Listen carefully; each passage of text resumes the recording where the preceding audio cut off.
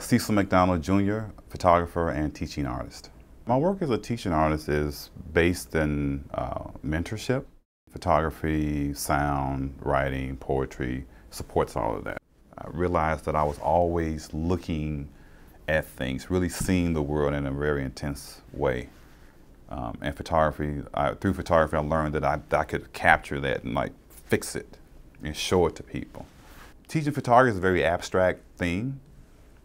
And we just found that we could talk all day about photographs and we could show them examples of it, but still it wouldn't click that I'm not close enough to the subject.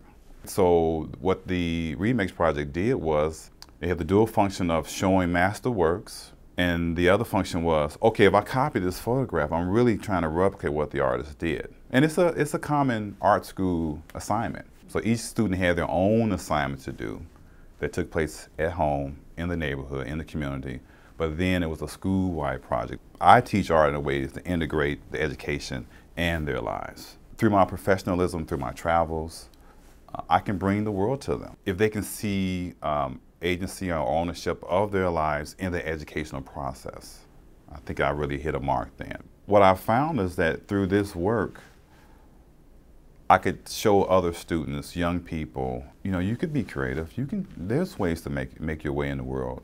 And even if you're not an artist per se, uh, i.e. you make your living as an artist, whatever you end up doing, creativity can become part of that. And that's what that's kind of like my my mantra now. That creativity is everywhere, and we have to grasp it and hold on to it, nurture it, and our young people and our old people as well. It's not something that's only the, the domain of the artist.